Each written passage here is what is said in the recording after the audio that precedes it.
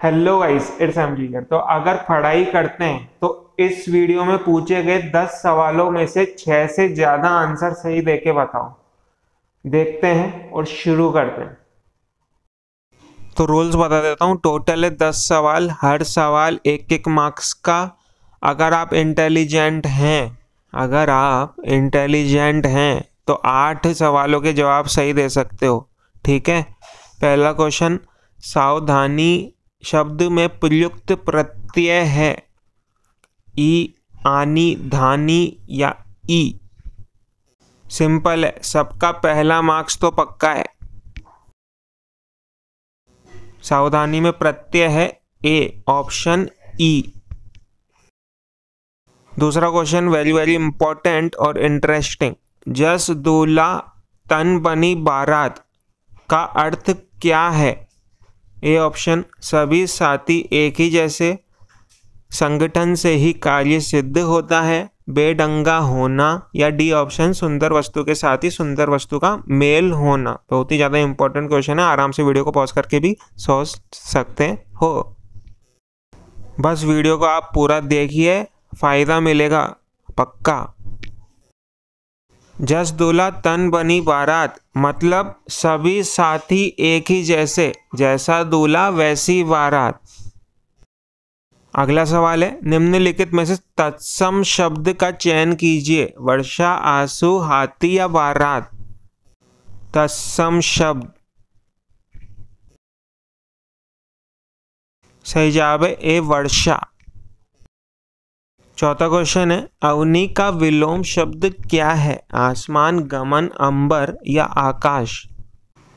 थोड़े से confusing options है भैया।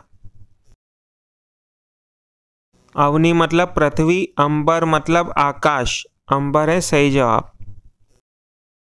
पांचवा क्वेश्चन है बे इंसाफी में प्रयुक्त उपसर्ग है इन, बे, बैन या बेई। बिल्कुल सिंपल है, बता दोगे? सही जवाब है ऑप्शन बी बे बे प्लस इंसाफी। एक और सिंपल सवाल, बहाव शब्द में प्रयुक्त प्रत्यय कौन सा है? वह आवा, आव या हाव। बस आप गिनते जाइए अपने मार्क्स सही जवाब है सी आओ आप गिनते जाइए अपने मार्क्स और टोटल मार्क्स आपके जो भी आए और अपने एक फ्रेंड को जो आपको लगता है इंटेलिजेंट है तो उसे चैलेंज कीजिए आपसे ज़्यादा मार्क्स लाने के लिए। समझ गए होंगे? ठीक है? सातवां सवाल है, निम्नलिखित में से किस वाक्य में अकर्मक क्रिया है? ए राम पत्र लिखता है, बी, मैं बालक को जगवाता हूँ, गेहूँ पिस रहा है या मदन गोपाल को हंसा रहा है? इम्पोर्टेंट सवाल बिल्कुल।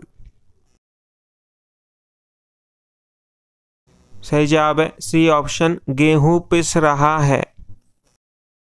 अगला क्वेश्चन भाषा शब्द संस्कृत के किस धातु से बना है? ए भाष्य बी भाष सी भाष या डी भाष? एक और इंपॉर्टेंट क्वेश्चन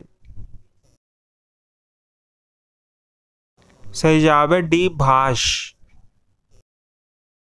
नाइन क्वेश्चन है, तरुण का विपरीतार्थक विलोम शब्द बताइए, ए मंद, बी वृद्ध, सी सुस्त या डी कोई नहीं? One of the simplest question of this video तरुण मतलब छोटा, वृद्ध मतलब बड़ा, सही जवाब है बी वृद्ध। दस और आखिरी सवाल है, इनमें से कौन सी युग्म शब्द गलत है? ए नशा मद बी निशान चिन्ह सी नगर शहर डी नारी स्त्री। आराम से देखिए, सोचने के लिए ज़्यादा समय चाहिए तो वीडियो को पॉज करें। लास्ट क्वेश्चन है, बिल्कुल सही जवाब देना ही है। सही जवाब है बी, निशान चिन्ह अब एक टास्क है आपके लिए, अब आपका जो भी स्कोर रहा है, उसको कमेंट करने की ज़रूरत नहीं है। अपने दोस्त में शेयर करो इस वीडियो को, जो भी इंटेलिजेंट है आपसे। और उसको चैलेंज करो कि आपसे ज़्यादा उत्तर वो सही दे के बताए। देखते हैं, दे पाता है और मज़ा आएगा। तो उम्मीद करता हूँ कि आपको वीडियो पसंद आया है और आप अपने दोस्तों में भी शेयर करोगे। इस वीडियो को लाइक तो आपने कर दिया ही होगा। तो जल्दी मिलते हैं अगले वीडियो में। हँसते रहिए, मुस्कुराते रहिए। Bye bye